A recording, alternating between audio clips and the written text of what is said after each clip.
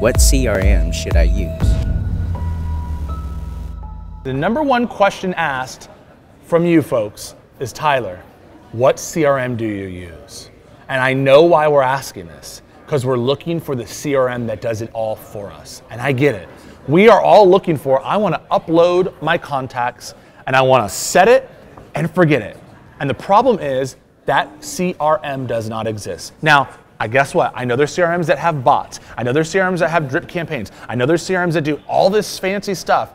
The thing is, you still have to work it. I can tell you this I can give you the craziest CRM out there, and you're gonna be like, this is awesome. And you're gonna log in and you're gonna look at it and be like, whoa, this is way too much stuff. What do I do? How do I work it? How do I know? I think the problem that we all find is we're looking for a CRM to do the work for us. And to me, guys, I dominated with a CRM in Excel, Excel spreadsheet, right?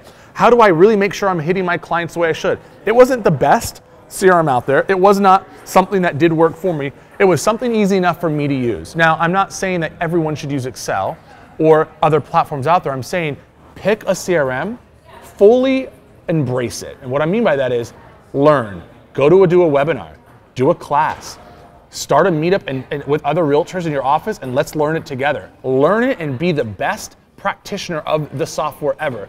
Be a power user. And I mean power user, meaning you're using it every day. If you think you're going to use it once and then stop, it's not going to work for you. A CRM is not meant to be used once a, a, month, once a week. It's meant to be used every day. It's meant to keep you on task for what you're trying to do, which is stay in contact with their clients so that when they're ready to buy or sell, they use you or they refer somebody because they, they know who you are. And so, what I would tell you is become a power user on whatever CRM you are going to choose. I'm not going to endorse one.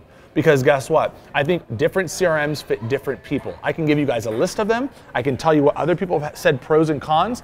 However, one CRM may work for me and it may not work for you. We're very different people, right? I know that I'm gonna be in there every day. You may say, I wanna be in there weekly. I don't agree with that, but guess what? I would never give you the CRM that you, where you need to be in every day. And so I think what you need to do is analyze all the CRMs, See which one is the simplest to use. Simplicity is key here, my friends. Don't get caught up with all the flashy things that you'll never use, and we do that sometimes.